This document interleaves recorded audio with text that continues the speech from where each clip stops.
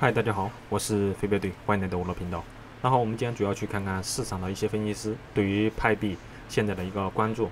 那么他们认为呢，派 Network 呢现在呢整个的市场环境不是特别友好啊，关于我们社区里面的情绪也不是特别高，所以呢会导致派 Network 代币的价格暴跌百分之八十五。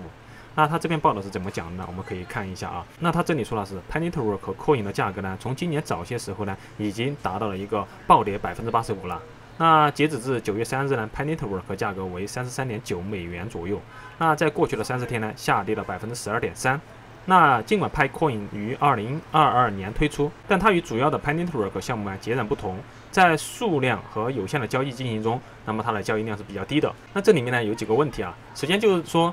它暴跌百分之八十五，它指的是从今年开始到现在为止，那暴跌百分之八十五。其实，在早期的时候，我们可以看到派呢，在今年早的时候呢，它的价格有再去冲高，它就是和最高点和最低点进行呃一个价格的一个差距，那么达到百分之八十五。其实这个呢没有什么可比性啊，因为价格它是随着市场慢慢在走动，然后呢派的这个价格呢是属于 I O U 的一个价格。I O U 的价格当时高是什么原因高啊？是来源于 p a n e t w o r k 宣布今年要去开放社组，那一下子拉了起来，是吧？这是属于市场行为，而且呢，这个呢派币和我们派币没有关系。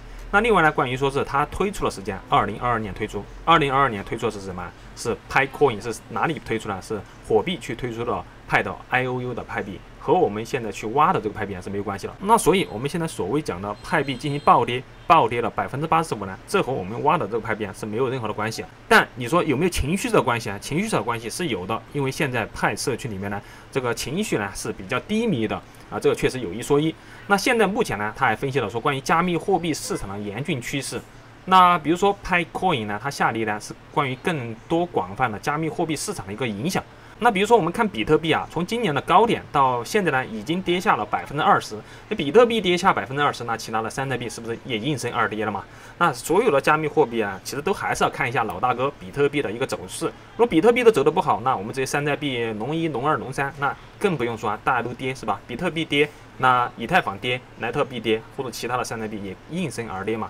而比以太坊呢，已经下到更加多一点，就是百分之三十八。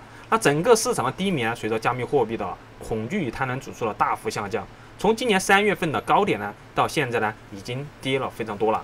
那另外呢，关于 Panetwork 主网发布延迟呢，那么使我们这些社区里面人或者那些投资者呢，感到非常沮丧。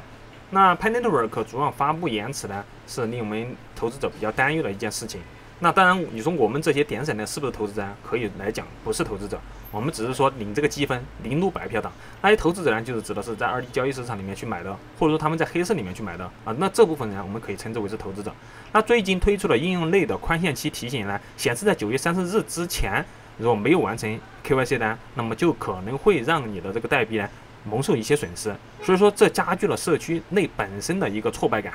那因为有的人呢，他讲说，哎，我挖了这么久的时间，那我们辛辛苦苦的搞了这么久，这个币呃没有拿到啊，所以说大家就比较沮丧嘛。所以说这呢都会影响到市场里面。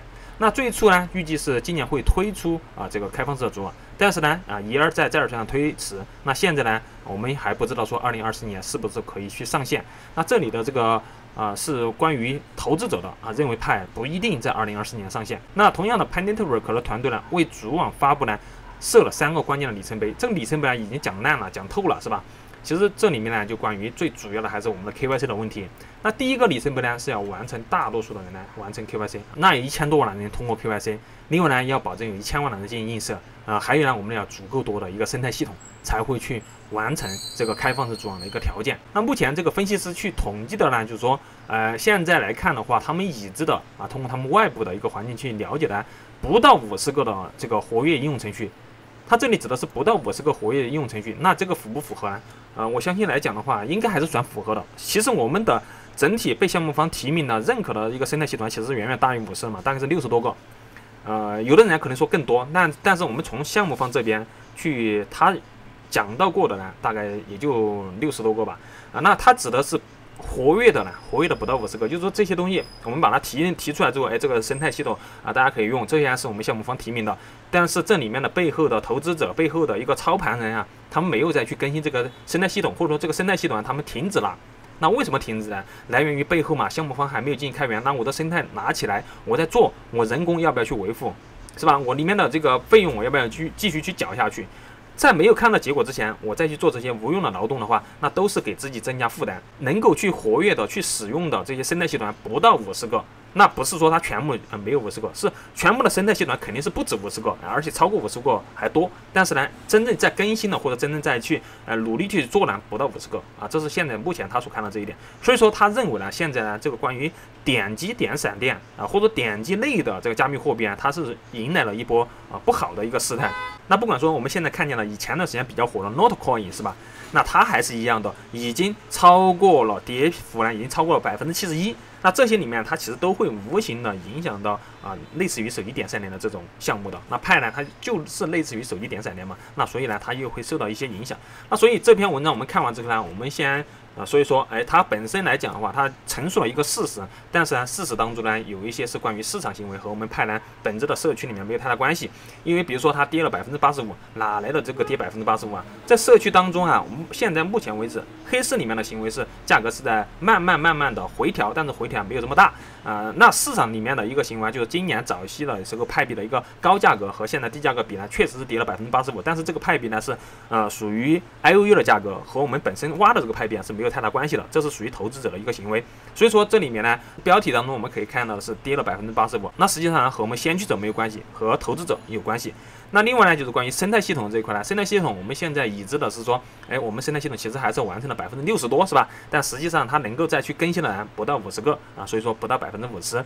那我们现在派呢，还是需要更多的一个努力。所以目前来看的话，消极程序笼罩着社区的更加多一点啊，不管是在外部的一个啊分析师的一个分析，还是说关于内部我们这些点闪电的派友，其实大家这个消极情绪啊是蛮多的啊，消极情绪是大于这种积极的情绪的。那好，这边就关于今天要去跟大家分享的全部内容。那好，以上的分享仅仅是哪篇这篇文章的一个解读，那关于更多的一个详细信息啊，大家可以自行去查阅。那好，今天就这样喽，我们下期再见，拜拜。